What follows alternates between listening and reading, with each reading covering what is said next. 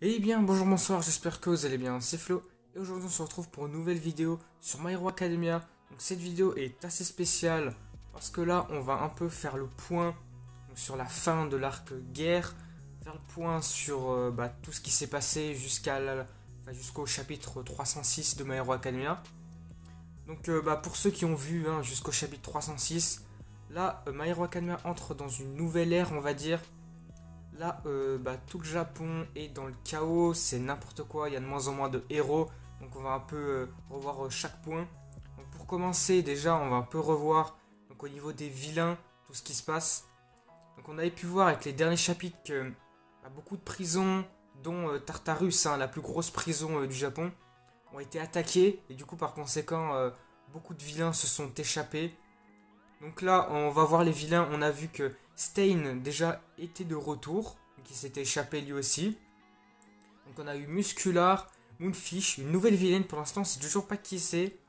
On sait pas si c'est vraiment une grosse criminelle ou pas, on sait pas.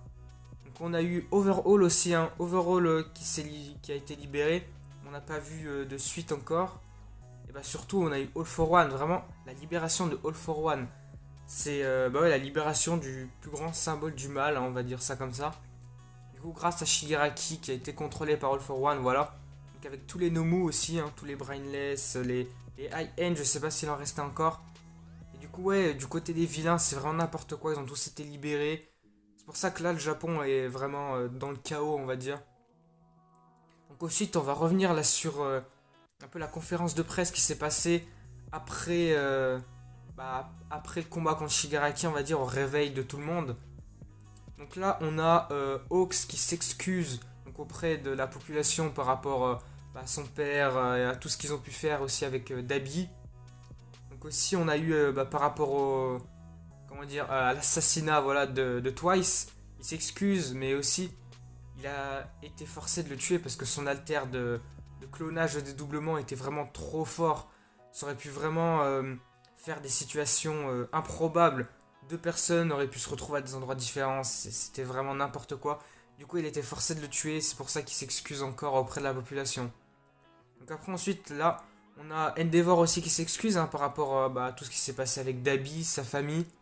Donc il a dû tout euh, dévoiler à la population. Il s'en excuse hein, encore, hein, toujours. Ensuite, on a Besdinist qui euh, bah, dit qu'ils vont créer un nouveau système pour protéger la population.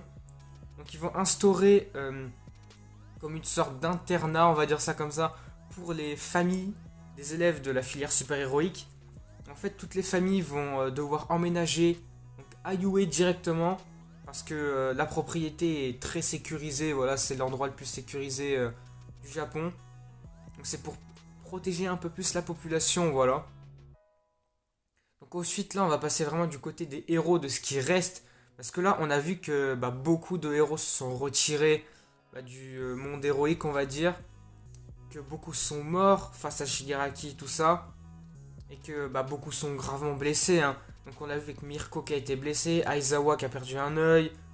Là, on a Montlady, on a, quelqu'un d'autre, on ne sait pas qui c'est. On ne sait pas si c'est euh, le Clock ou euh, Dieu Sylvestre, on ne sait pas du tout. Donc ce qu'on peut dire là, c'est qu'on a encore Mirko et Wash qui vraiment ont l'air déterminés. Mais euh, ils sont vraiment peu par rapport au nombre de héros qui sont partis, tout ça. Du coup, euh, ouais, il y a presque plus de héros. Hein. Après, mis à part euh, Endeavor, Hawks et Besdinis, le trio, il y a vraiment plus trop de héros, quoi. Voilà. Du coup, c'est pour ça que là, le Japon rentre dans le chaos, les vilains prennent le dessus, en fait. C'est ça. Ensuite, on a Dabi qui parle, mais je sais pas trop ce qu'il va faire encore. Donc aussi là, ouais, on va passer du côté bah, de All Might et du One for All, tout ça. Parce qu'on a vu que du coup le One for All a été euh, dévoilé à la population en fait. Tout le monde en a entendu parler, les médias euh, l'ont entendu. Hein.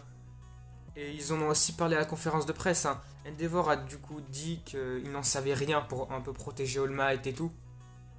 Et du coup là, on a euh, Hawks et Besdinis qui sont allés voir All Might bah, pour parler du One for All.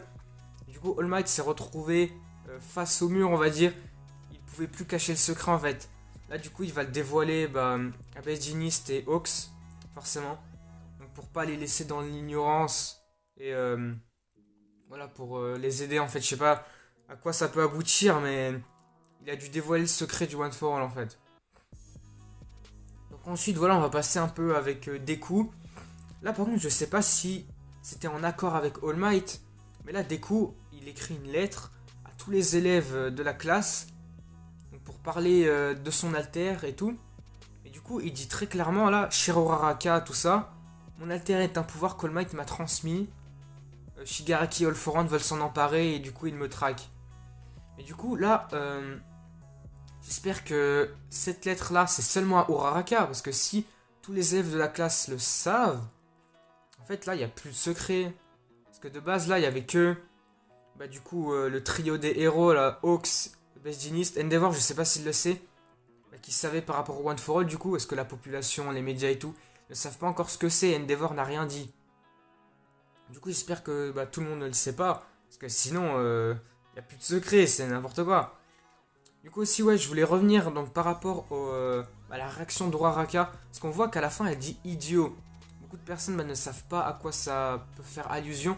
En fait, après plusieurs relectures et tout, en regardant plusieurs vidéos, on peut imaginer que, en fait, elle dit idiot à Deku parce que lui, il veut bah, partir, s'éloigner de tout le monde pour, dans un sens, les protéger. Mais du coup, elle dit idiot parce qu'en fait, elle, cherche à dire que Deku aurait dû rester pour bah, que tout le monde l'aide en fait. Pour qu'Uraraka l'aide. Parce qu'en fait, ils sont tous ses amis, ils auraient pu l'aider en fait. Parce que là, Deku a choisi de partir seul pour entre guillemets les protéger, mais est-ce que en partant, il va plus les protéger ou du coup il va bah, moins les protéger en fait? Est-ce que ça sera bénéfique ou pas pour lui? Parce que du coup, il est tout seul maintenant. C'est pour ça. Là, du coup, ouais, sur la dernière page bah, du DRS scan euh, du chapitre 306, on voit des coups sur une statue d'aigle, on ne sait pas trop, dans une ville bah, qu'on connaît pas du coup. Beaucoup ont pensé que ça peut être bah, aux États-Unis, comme l'avait fait All Might et Zuko est parti. Après, je sais pas. Parce qu'on a eu là un time skip de quelques semaines, un mois peut-être, parce que l'assaut c'était en, mars, là on est en avril. Du coup, on ne sait pas. Parce que là, du coup, des coups, euh, après son réveil, bah, il a écrit les lettres et tout. Et du coup, il serait parti directement, je sais pas. Parce que là, on voit bah, sur euh, sa tenue, hein, elle est toute déchirée. Il a plus ses, gants spéciaux pour utiliser le Air Force, attaquer à distance et tout. Et on voit que sur ses bras, il y a encore des bandages, c'est-à-dire que ses bras sont encore fragilisés. Je pense pas qu'il puisse utiliser le 100% ou frapper, ou utiliser le One for All sur ses bras, je sais pas. Parce qu'après, là, on va, on va euh, parler d'un point qui euh, bah, fait parler beaucoup de monde. Hein. Il, il aurait entre guillemets la cape de Grand Torino. Après ça, on sait pas. Ça n'a pas été confirmé par Koyo Rikoshi, on sait pas. C'est juste des théories, tout ça. Hein. Donc après, pourquoi il aurait la cape de Grand Torino, je sais pas. Ce serait un, plus un peu symbolique, on va dire Grand Torino lui passe sa cape, voilà, ça fait symbolique, je sais pas. Parce que du coup, euh, attendez, je vais voir ça. Voilà, on a cette image qui est euh, bah, officielle. Hein. Là, on voit bah, Shigaraki et Deku là, on voit bien que Deku a une cape jaune, exactement comme celle de Grand Torino. Du coup, ouais, je pense que c'est celle de Grand Torino. Mais après, à quoi elle lui sert? Moi, j'ai pensé à un petit truc. Genre, Grand Torino lui a donné un peu se cacher de Shigaraki All for One. Parce que de base, sur son costume, il n'y a pas du tout de cape. Hein. Une cape jaune comme ça, ça n'a rien à voir avec son costume. Du coup, est-ce que c'est pour passer un peu plus inaperçu? Parce que du coup, euh, on voit là sur euh, vraiment la dernière case, on voit qu'il met la cape au-dessus de sa bouche et il remet sa capuche. Du coup, pour euh, se cacher, je pense. Hein. C'est plus, ouais, pour passer discret. Ouais, pour être discret, voilà. Parce que, après, on voit que la Grande Torino, il est toujours vivant. Hein. On l'a vu à l'hôpital, là, il est vivant. Et on voit sa cape qui est déposée. Déposée là sur une table. Du coup, est-ce que, après que la nana Shimura lui avait dit de passer le bonjour à Grande Torino, est-ce que, coups à son réveil, et allait le voir? Grand Torino à ce moment-là lui a donné la cape? Je sais pas, c'est euh, on est encore euh, dans le flou, on sait pas du tout. Euh, là, tout porte à imagination, on va dire. Il y a que des théories, on peut pas savoir vraiment ce qui va se passer. Après, pour la suite, on peut imaginer, beaucoup de personnes l'ont imaginé, hein, que Stain allait s'allier avec Deku, qui aurait un duo. Parce que Stain, on l'avait vu dans la saison 2 de l'animé, il avait considéré Deku comme un vrai héros, qu'il avait l'âme d'un héros.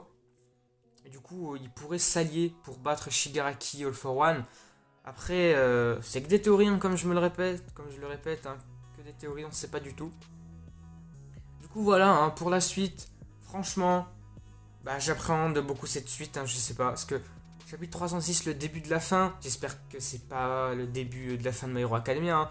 Normalement, non, il y a encore beaucoup de choses à approfondir, à développer, beaucoup de points euh, qu'on peut avancer et tout. Hein.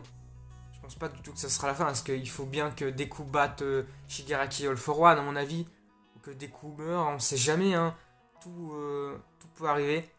Du coup, voilà, cette vidéo un peu discussion, débrief de l'arc guerre s'arrête ici. Hein. Si vous avez des choses à rajouter, n'hésitez pas à me le dire dans les commentaires. Hein. Du coup, si cette vidéo vous a plu, n'hésitez pas à liker, à commenter, à partager. Et du coup, on se retrouve bah, pour le prochain chapitre, le 307, qui arrive directement la semaine prochaine. Il n'y a pas de pause. Heureusement, parce que sinon, euh, on n'aurait pas pu tenir. Hein, parce que là, on attend vraiment la suite sur ce qui va se passer avec Deku. Du coup, euh, n'hésitez pas à vous abonner à la chaîne pour ne pas rater les prochaines vidéos. La prochaine réaction du chapitre 307. du coup, moi, je vous dis à la prochaine